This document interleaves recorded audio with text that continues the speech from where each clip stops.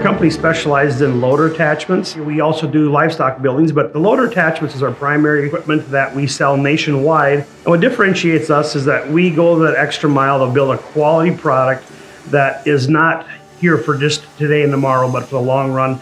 It's a great value for the customers. It's like any other investment. Uh, the more you put in, usually the more you get out, and that's where we uh, kind of find our sweet spot in this industry.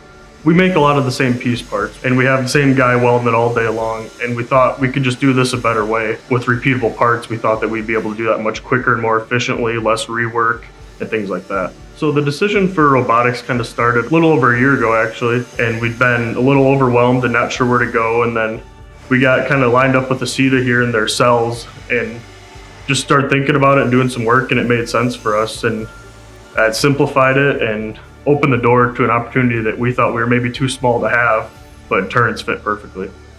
To start with, we've eliminated operation times, eliminated whole operations in general. Parts that we had to do multiple operations on, we were able to condense into one single operation on the robot.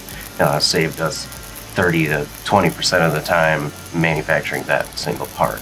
We got into robotics to, to not eliminate jobs, eliminate welders, but more or less to train them to be better welders, to relieve fatigue on them, as well as relieve any holdups within the manufacturing process itself.